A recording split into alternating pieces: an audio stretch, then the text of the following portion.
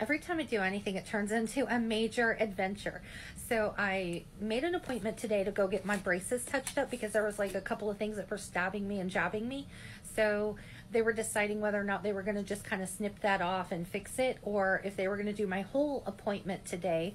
And they ended up uh, keeping my next appointment and just kind of touching this up.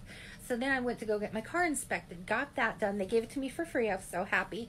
And then, um, I was going to go get some coffee from Starbucks because it's been a while. I'm talking like months since I've had Starbucks. So I was going to go get me some. And then I thought, well, I'll go and uh, try to find my mom a birthday present while I'm at it. So I go to Party City because um, there was all these stores that I wanted to go to like right in a row.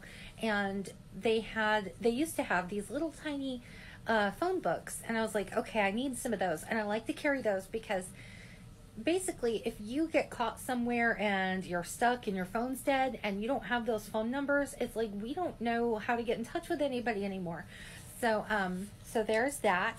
And, you know, I like to put like important little things in it. So I want to get a new one. I have a Hello Kitty one now, but they were all out of them. But they did have these 10 cent candies. Some were like 25 cents. So I got a whole bunch of those.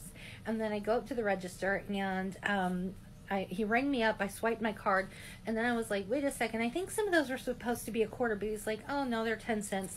So he, I was like, "Okay." So I figure he knows better than I do.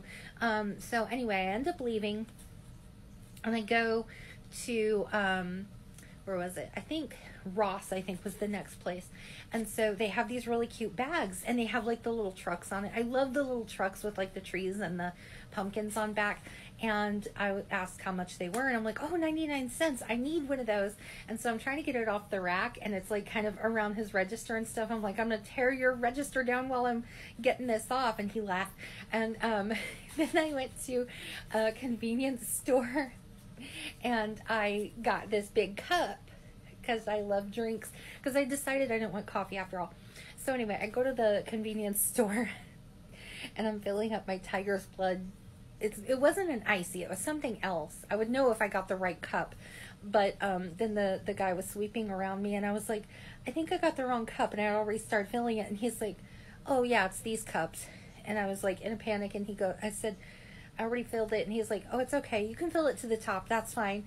And um so anyway that was my day of being out and annoying everybody. And then you know this stuff like turned my whole entire mouth red.